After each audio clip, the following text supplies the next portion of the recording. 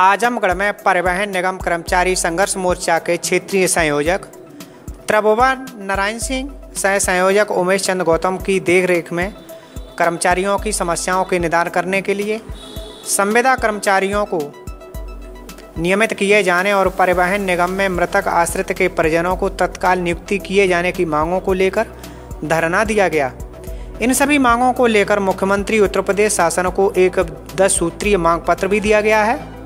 उन्होंने मांग की है कि राष्ट्रीयकृत मार्गों पर निजी वाहनों को परमिट देकर संचालित करने की अधिसूचना को तत्काल निरस्त किया जाए। डग्गामार वाहनों को बंद कराया जाए। उत्तर प्रदेश परिवहन निगम को पूर्व की भांति राज्य की रोडवेज़ घोषित किया जाए। इस मौके पर परिवहन निगम के कर्मचारी और संगठन के पदाधिकारी गण मौजूद थे।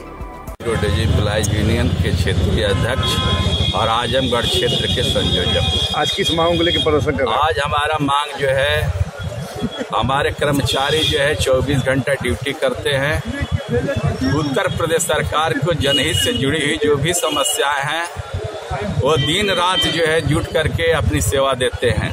चाहे इनका नेपाल की आपदा हो चाहे प्रयाग मेला का जो है इनका कुंभ मेला का जो है, आज कर्मचारियों की बदौलत, इनको जो है, आज ग्रीन बुक में जो है, उत्तर प्रदेश का नाम हुआ।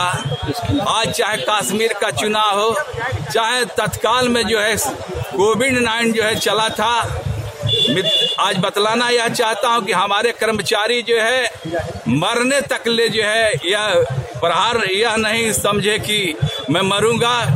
अपनी ड्यूटी जो है 24 घंटा जो है जुट करके जनता की, जन की सेवा का किया है कार्य आज आज उत्तर प्रदेश सरकार जो है, दो बार जो है हमारे संगठन से वार्ता हुई कि रोडवेज़ का निजीकरण जो है आज हमारा परिवहन निगम घाटे में नहीं है।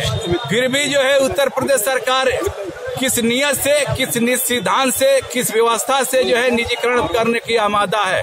आज हमारे लखनऊ और गोरखपुर मार्ग पर जो है प्राइवेट के हाथों से बेचा जा रहा है। आज संघर्ष मोर्चा जो है बाध होकर के आंदोलन पर जो है कर्मचारियों की समस्या को और रोडवेज़ का अस्तित्व बचाने के लिए जो है दस सूत्री मांग पत्र जो है जिला अधिकारी महोदय, माननीय मुख्यमंत्री महोदय को जिला अधिकारी महोदय के माध्यम से दिया जाएगा कि समस्या जो है गंभीरता से लेकर के इसके निदान निराकरण कराने का कष्ट करें। अगर ये आपकी मांगे पूरी नहीं होती आगे आपकी क्या रणनीति यदि हमारी यह मांग पूरी नहीं होती है न कोई समझौता बात पुनः वार्ता की जाती है तो प्रदेश कार्यकारिणी जो है जैसा आंदोलन के लिए चाहे चक्का जाम का आंदोलन लो चाहे जिस प्रकार का आंदोलन हो, आज आज आजमगढ़ क्षेत्र जो है आंदोलन के लिए बाध्य होगा।